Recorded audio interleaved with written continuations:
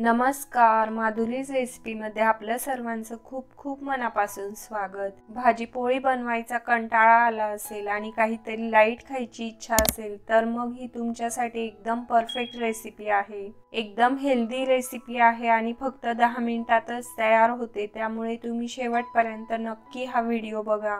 कुकरमध्ये दोन मोठे चमचे तेल घालायचं आहे. तेल थोडस तापल्यानंतर त्यात मी काही खडे मसाले घेतलेले आहेत ते घालते. इथे मी तीन वेलदोडे घेतलेले आहेत दोन तेजपान चार ते पाच काळे मिरे एक दालचिनीचा तुकडा एक मसाला वेलची थोडीशी जावित्री घेतलेली आहे. सर्व मसाले तेलावर हलकेसे परतून घ्यायचे. त्यानंतर दहा ते बारा काजू पाकळ्या घालते मी यात. थोडस परतून घेऊया. एक मोठा कांदा उभा चिरलेला घालायचा आहे. कांदा पण थोडासा परतून घेऊया.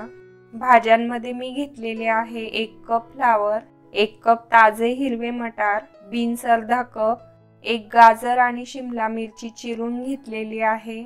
आता या सर्व भाज्या घालते मी यात परतून घेऊया. भाज्यांमध्ये एक छोटा चमचा मीठ घालायचा आहे. मिक्स करून घेऊ. एक बटाटा चिरून घेतलेला तो पण घालते मी आत भाज्या आपल्याला दोन ते तीन मिनटं परतून घ्यायच्या आहेत. त्यानंतर जिंजर गार्लिक पेस्ट एक चमचा घालते मी आत कच्चापणा जाईपर्यंत छान परतून घ्यायचा आहे.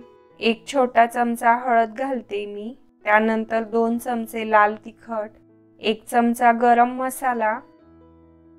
त्यानंतर एक चमचा पावभाजी मसाला घालते मी यात. पावभाजी मसाल्यामुळे खूपच छान टेस्ट येते या रेसिपीला त्यामुळे नक्की घाला. आता सर्व मसाले मिनिटभर परतून घ्यायचे आहेत. भाज्या खूप जास्त शिजवायच्या नाहीये. फक्त दोन ते तीन मिनिटं परतून घ्यायच्या आहेत. त्यानंतर इथे मी सफोला सोया चंक्स जे टेंडर आणि ज्युसी असतात ते सात आठ घेतलेले आहेत. त्यानंतर शंभर ग्रॅम फ्रेश पनीर क्यूब्स घालते मी यात.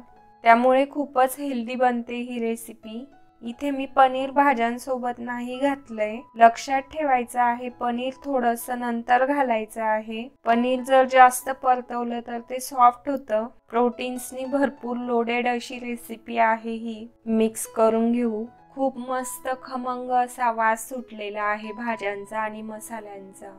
दोन मिनिटं छान परतून घेऊया. आता यात एक वाटी पाणी घालते मी. त्यानंतर इथे मी एक वाटी दावत बासमती पुलाव राईस घेतलेला आहे. तांदूळ आपल्याला फक्त धुवून घ्यायचे आहेत. तांदूळ जास्त वेळ पाण्यात नाही भिजवून ठेवायचे नाहीतर मग त्याचे तुकडे व्हायला लागतात. तांदूळ छान लांब सडक दिसत नाही स्वच्छ धुवून घ्यायचा आहे. तो घालते मी यात मिक्स करून घेऊ. त्यानंतर अजून अर्धी वाटी पाणी घालते मी यात एक वाटी तांदळासाठी मी इथे दीड वाटी पाणी घालते. चवीप्रमाणे मीठ घालायचं आहे. छान मिक्स करून घेऊ. आता याला हाय फ्लेमवर एक उकळी येऊ द्यायची आहे. त्यानंतर झाकण बंद करून एक शिटी करून घ्यायची आहे. कुकरची एक शिटी झालेली आहे. आता कुकरची पूर्ण वाफ निघालेली आहे. आता आपण झाकण उघडून बघून घेऊ.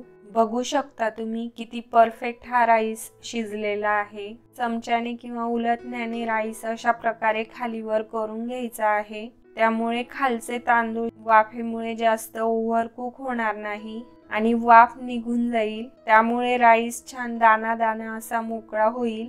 मुलांना टिफिनला देण्यासाठी एकदम परफेक्ट रेसिपी आहे ही. फक्त एका शिट्टीतच तयार होते.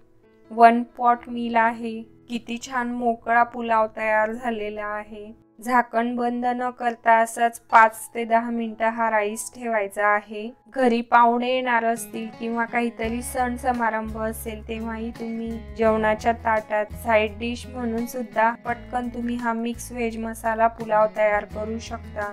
जेवढा जास्त दिसायला छान दिसतो त्यापेक्षा कितीतरी टेस्टी आणि हेल्दी हा पुलाव आहे. तुम्ही ही नक्की बनवून बघा. तुम्हाला आजची ही रेसिपी कशी वाटली कमेंट करून सांगायला विसरू नका. जर तुम्हाला रेसिपी आवडली असेल तर चॅनलला लाईक शेअर सबस्क्राईब नक्की करा. लवकर परत भेटूया नवीन रेसिपी सोबत. धन्यवाद.